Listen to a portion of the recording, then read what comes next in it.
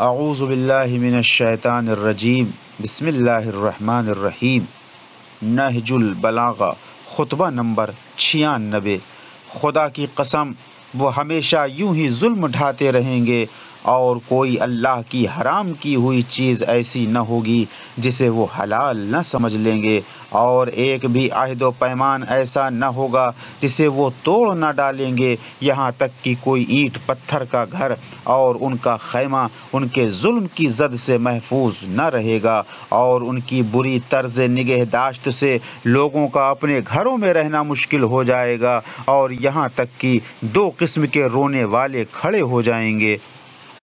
एक दीन के लिए रोने वाला और एक दुनिया के लिए और यहाँ तक कि तुम में से किसी एक का उनमें से किसी एक से दाद खाही करना ऐसा होगा जैसे ग़ुलाम का अपने आका के सामने कि वो सामने इताअत करता है और पीठ पीछे बुराई करता है।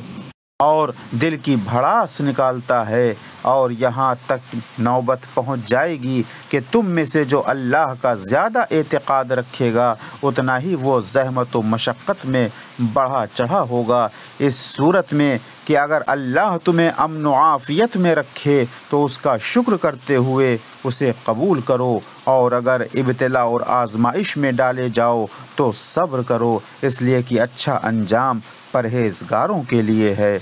व आखिर दावाना अनिलहमदिल्ला रब्बिल आलमीन।